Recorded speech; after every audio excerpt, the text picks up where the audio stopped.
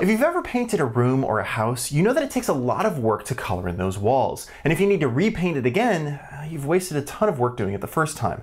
This same concept of wasting effort to paint something can also attribute to performance problems in your applications. My name is Colt McAnlis, and at the intersection of performance and design lies a common performance problem overdraw. Overdraw is a term used to describe how many times a pixel on the screen has been redrawn in a single frame. Uh, for example, if we have a bunch of stacked UI cards, all the cards in the upper part of the stack, closer to the user, hide large portions of the cards hidden underneath, meaning that we'll need to spend time drawing those cards, which are mostly invisible. This is a large problem because each time we're rendering pixels that don't contribute to the final scene, we're effectively wasting GPU performance. And with modern layouts, it's easy to fall into a trap where we're stacking and layering views to give us beautiful design, but also creating the same problem.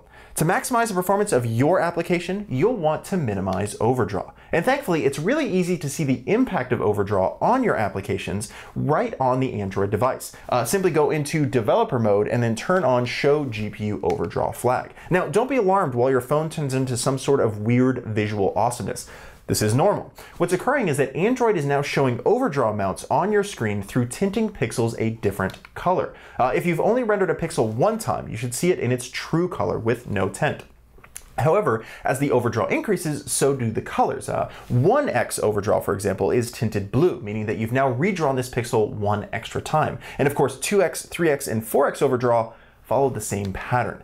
The goal of your application is to reduce as much overdraw as possible, which will move you from seeing lots of deep red down to seeing lots more blues. Now, while overdraw will organically come from just how your views overlap each other, a more common problem for folks to be aware of is lots of unneeded overlapping backgrounds. Uh, for example, having an activity background which uh, gets overdrawn with a layout which has a series of children who all have backgrounds that, that uh, don't forget the text boxes and of course the titles and those backgrounds as well. And of course there's the avatar backgrounds and then the avatars themselves. Uh, you can quickly see how this can get out of hand.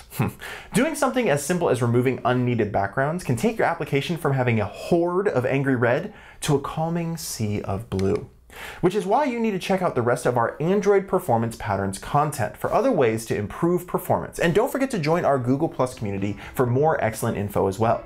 So keep calm, profile your code, and always remember, perf matters.